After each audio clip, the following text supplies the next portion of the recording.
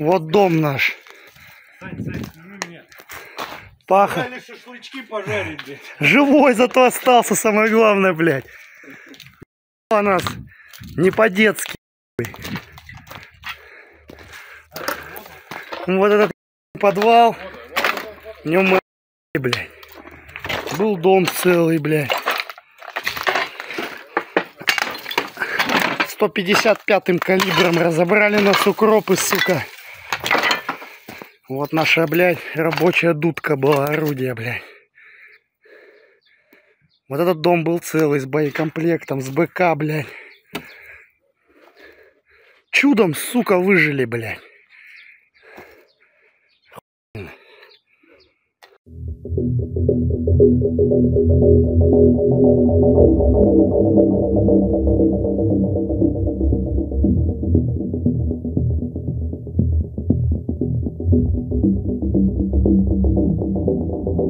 Thank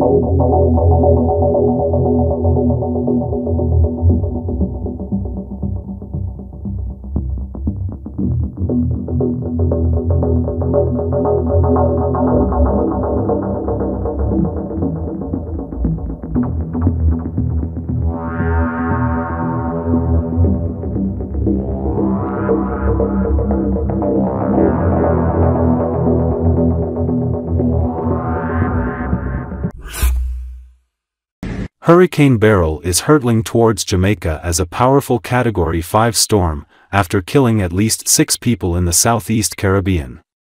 The National Weather Service of U.S. reported that they have never observed a storm this powerful so early in the season. It is noted that Hurricane Beryl is now drenching Hispaniola en route to a potentially life-threatening strike on Jamaica and the Cayman Islands before facing an uncertain future in the Gulf of Mexico that could include impacts in Texas. Beryl's eyewall continues to move quickly west-northwest in the eastern Caribbean Sea well south of Hispaniola. That said, some bands of heavy rain have wrapped into the Dominican Republic and Haiti. A hurricane warning was in effect for Jamaica, Grand Cayman, Little Cayman, and Cayman Brac.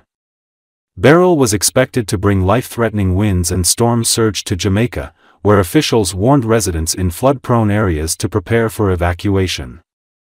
I am encouraging all Jamaicans to take the hurricane as a serious threat, Prime Minister Andrew Holness said in a public address. It is, however, not a time to panic. In Miami, National Hurricane Center Director Michael Brennan said Jamaica appears to be in the direct path of Beryl. It comes after the monstrous weather system slammed into islands including Grenada, St. Vincent and the Grenadines, and Barbados. Widespread damage to homes and businesses has been reported, along with power cuts and other disruption.